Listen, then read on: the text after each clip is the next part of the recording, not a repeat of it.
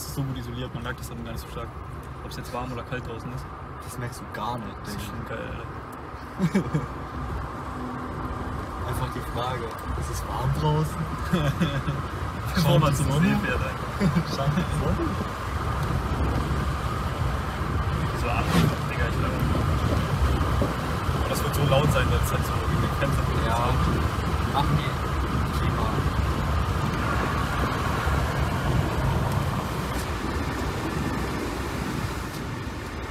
Ich muss jetzt erstmal klimatisieren. Das sind 33 Grad. Das ist Boah, die haut erstmal heiße Luft raus. Gib ihm.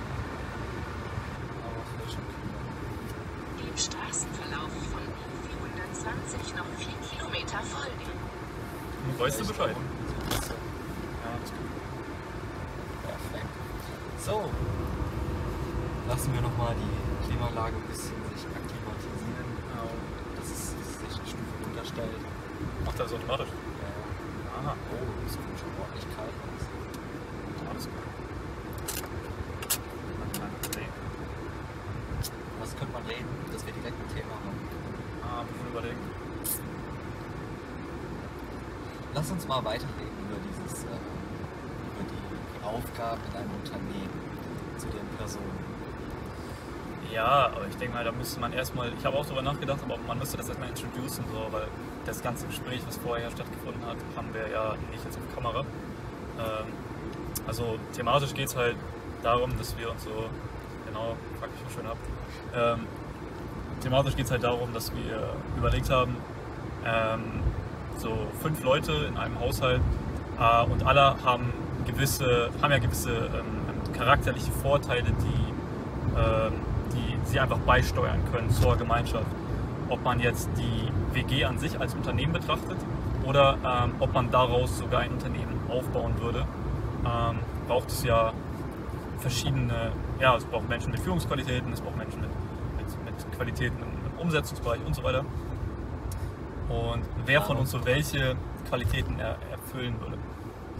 Problem ist, reingefunden und vergessen, sagen ja, Problem ist halt so ein bisschen, ähm, dass wir jetzt noch nicht mit dem Kanal so aufgestellt sind, dass wir jetzt, dass jeder schon so präsent ist, also dass jeder jeden kennt, der außerhalb jetzt ist, sondern es sind immer so Gesichter, die jetzt so auftauchen. Da müssen wir auf jeden Fall auch dran arbeiten, Ja. dass wir da irgendwie so eine Introduction machen. Wir sollten mal so, so einen Vlog machen, wo wir uns einfach kurz und knapp vorstellen. Ja. ja das haben wir schon. Äh, Ulasch hat es ja schon gemacht, Milena hat es schon gemacht. Eigentlich müssen es nur noch wir beide machen und Enrico. Scheiße, ich kenne keiner eigentlich. Der Eukers, der immer im Video rumhopst. Ich glaube, ich mach's jetzt. Ah, okay. Also, ich bin Elias Eichhorst. Ich bin Autofahrer. Hauptberuflich. ja. Nee, hauptberuflich bin ich bei der Deutschen Post. Ich bin dort Verbundzusteller, also ganz normaler öffentlicher Briefträger mit Paketen. Ähm, aber das ist nie das, was ich eigentlich letztendlich anstrebe. Ich habe ähm, schon immer größere Ziele gehabt. Ich wollte schon immer mehr Leben. Ähm, Nach aber 500 Metern rechts abbiegen auf L169 Schildernach Baumholder Niederalm. Danke. Bin aber nie so richtig, ähm, habe noch nie so richtig den Weg gefunden. Ich habe viele ausprobiert in meiner Laufzeit. Also ich habe schon Network Marketing mehr oder weniger erfolgreich gemacht. Hatte dort einen Firmenwagen, passives Einkommen. Ich habe eine Ausbildung als Verkäufer gemacht. Rechts abbiegen auf L169 Schildernach Baumholder Niederalm. Wiederholen den Satz am besten nochmal. habe eine Ausbildung als Closer gemacht bei der Closing Academy. Straßenverlauf von Oh, Digga, dieses Navi. L169 noch 13 Halt die Fresse. Ja, jetzt hast du Zeit. Da haben wir uns auch kennengelernt. Und ich Nee, würde- wiederhol, du musst die ganze, Aus, die ganze Aussage nochmal tätigen, sonst muss man das rauscutten und dann ist da so ein navi Ach so. Ähm, ich habe eine Ausbildung als Verkäufer gemacht, also als Closer. Da haben wir beide uns auch kennengelernt. Und ähm, da kam ich schon echt auf einen ziemlich guten Weg. Also ich habe viele Skills gelernt, unter anderem auch Storytelling, was ich jetzt direkt ein bisschen anwende.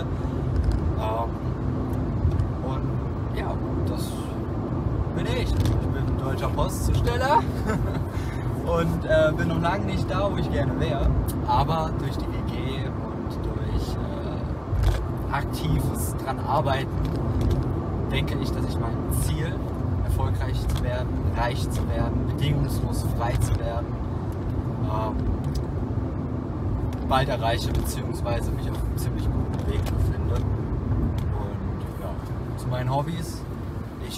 Habe früher ein bisschen Klavier gespielt, das mache ich mittlerweile gar nicht mehr.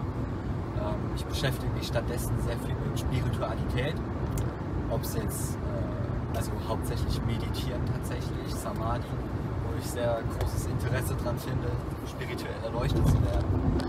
Was ja auch in gewisser Weise eine Form von, ja, ich beschreiben kann, ähnlich wie Gesang, Musizieren, Kunst, so eine Inneren Sache ist. So wie, wie Malen. Zeichnen tue ich tatsächlich auch ganz gern.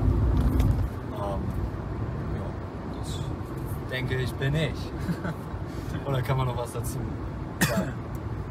Nee, ich denke, für so ein kurzes Intro-Statement reicht das eigentlich, oder? Ja, das war, ich schon, denke- war schon ganz gut. Ich denke, ihr werdet mich eh kennenlernen. Ich bin ein relativ geselliger Mensch.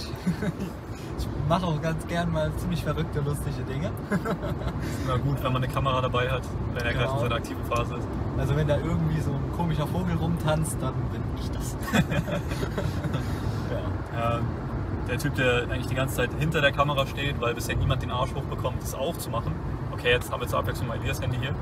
Aber äh, der Typ, der meistens mit der Stimme aus dem Off kommt, das bin ich dann. Äh, ich hoffe, das wird sich in Zukunft auch ein bisschen ändern. Ja, ähm, ich bin Leonard, ich bin äh, 19 Jahre alt und ja, wir haben, also Elias und ich haben uns eben kennengelernt, als wir eine, eine Closing-Ausbildung, also eine Verkaufsausbildung gemacht haben, quasi online. In der Zeit, wo Corona halt war, alles war irgendwie down und man hat halt sich andere Wege gesucht, um sich irgendwie zu beschäftigen und so. Und haben uns dann äh, immer besser verstanden, haben dann erste Projekte gemeinsam gemacht, äh, haben auch an einer Art Startup mitgearbeitet. Ähm, das haben uns da eingebracht, wollten das nach vorne bringen. Das äh, ist dann aber leider gescheitert, weil sich die Leute, die da an der Führung äh, beteiligt waren, einfach in Luft aufgelöst haben. und äh, halt einfach, ja, also whatever. Ähm, und dann äh, haben wir aber Kontakt gehalten, haben uns dann auch persönlich getroffen, äh, wobei wir uns halt immer nur von Zoom kannten und eigentlich ewig weit voneinander entfernt gewohnt haben. Und äh, ja, dann kam uns kam irgendwann Elias mit der Idee an, hey, wie sieht's denn aus? Äh, lass doch mal, also lass uns doch ein Haus mieten und dann so mit vielen geilen Leuten zusammenziehen. Und äh, ja, dann, dann, dann fand ich die Idee auch gut. So, ich muss erst ein bisschen drüber nachdenken, aber habe dann gemerkt, dass diese Idee eigentlich voll geil ist. Äh, habe dann meine, meine Freundin da das auch erzählt, fand das auch geil. Dann waren wir schon drei Leute. Und genau, so hat sich das Ganze dann ergeben, dass wir das, das Projekt dann letztendlich realisiert haben. Ähm, ja, zu, zu meiner Person. Ich, ich bin aktuell, also habe äh, letztes Jahr äh, Abitur gemacht, habe dann jetzt ein Fernstudium begonnen, was ich eben direkt aus der Future Millionaires WG heraus betreiben kann. Und ähm, ja, ist halt im Bereich Unternehmertum, äh, Management äh, angesiedelt. Ja. Äh, was, was, was lässt sich noch sagen? Was studierst du? Habe ich doch gesagt. Ja. Dann war da bestimmt gerade irgendwas. Mhm. Der Unternehmertum. Stimmt, hast du gesagt. Und äh, jo. Kannst rausschneiden. Ja, da wird sowieso viel gecuttet werden. Ja, und nebenbei haben wir eben das Ziel, äh, hier mit, mit, mit YouTube ähm, diesen Kanal als, als Sammelkanal zu nutzen. Für sowohl persönliche Stories von jedem Einzelnen, ähm, die einfach sein, sein, seine Entwicklung beschreiben, als auch, also es geht quasi generell um das Thema Erfolg. Also was ist Erfolg? Elias hat es ja vorhin auch schon angesprochen. Sein Ziel ist es, erfolgreich zu werden. Dieses Ziel eint uns in irgendwo, in irgendeiner Form alle. Denn, und nicht nur uns, sondern im Grunde ja jeden Menschen, denn jeder Mensch versucht auf irgendeine Art und Weise erfolgreich zu werden. Wenn man Erfolg äh, folgendermaßen definiert. Und zwar Erfolg ist die Verwirklichung, die kontinuierliche Verwirklichung eines dir würdigen Ziels oder Ideals. Und ähm, das bedeutet, du kannst alles als Ziel einsetzen, ähm, was, du, was du erreichen möchtest. Und ähm, der Weg dahin ist zu erreichen, das ist Erfolg. Und unser Kanal ist im Grunde ein Erfolgskanal, da wir genau diesen Weg beschreiben wollen. Du fängst irgendwo an und du erreichst ein Ziel. Und der Weg dahin, der wird in Zukunft hoffentlich noch mehr als, als äh, jetzt, weil sich da natürlich auch gewisse äh, Routinen und Abläufe bilden müssen, gewisse Gewohnheiten. Ähm, dass wir das damit erreichen, dass wir diesen Weg dokumentieren zum, zum Erfolg oder zur Verwirklichung von Erfolg. Und ähm, genau, also wo jeder seine eigenen ähm, Entwicklungsschritte äh, so dokumentieren kann, wo wir die Entwicklung als Gemeinschaft, als, ähm, als WG an sich, als auch jetzt sowohl innerlich als auch äußerlich mit der Einrichtung und so weiter äh, dokumentieren und immer weiter verbessern und äh, eben auch gemeinsame Projekte dann realisieren, die wir über diesen Kanal dann auch vorstellen können und ähm, das nach außen tragen und vielleicht sich dann irgendwann auch der ein oder andere eben dafür äh, interessiert, wenn Quasi. die gewisse Reichweite dann da ist. Ja, das ist quasi auch so ein bisschen zweitrangig, diese Reichweite aufzubauen. Ziel ist es also, denke ich, also für mich ist es auch schon ein bisschen Ziel, wenn dich dann irgendwann mit 80 jemand fragt, hey Opa, wie bist du eigentlich reich geworden? Hier, geh mal auf YouTube, gib mal Punkt, Punkt, Punkt ein, also unser Future Millionaire Account, dass man sich das dann theoretisch von vorne bis Ende reinziehen kann und jedes Learning, jeden Step, den wir gegangen sind auf dieser Stufen, also die, die einzelnen Stufen auf der Treppe oder die Leiter, die wir gegangen sind, ähm, nachverfolgen kann. Auch Rückschläge sollen, wollen wir drüber reden. Ähm, was zum Beispiel auch nicht geklappt hat, warum es nicht geklappt hat, dass wir da halt wirklich wie so eine Art ähm, ja, normalen Weg beschreiben, wo, wo man sich das nachvollziehen kann. Nicht äh, jetzt jemand Reiches sieht, ja, der ist halt reich, sondern wirklich, dass man nachvollziehen kann, wie sind die jungen Männer da reich geworden. Genau. Und dass Reichtum eigentlich nur der, die Begleiterscheinung von Erfolg ist. Also viele sehen unter Reichen jemand, der viel Geld hat. Das ist auch so. Aber das Geld kommt irgendwo her. Das ist nicht einfach nur äh, reich sein. Ist, außer du wirst reich geboren, weil deine Eltern rich sind. Du bist ein armes Schwein mit Geld. Und wir wollen halt keine armen Schweine sein, sondern wohlhabend, reich, erfolgreich. Ähm, nicht arm und Mut sein. Deswegen haben wir den Mut gepackt, das hier zu machen. Wir wollen euch auf dem Weg da mit begleiten. Ja. Keine Wortspiele. ja, genau. Diese Geld als im Grunde eben nur die Begleiterscheinung und das, das quasi die Skala, um zu messen, wie sehr ein Mensch ähm, erfolgreich wird.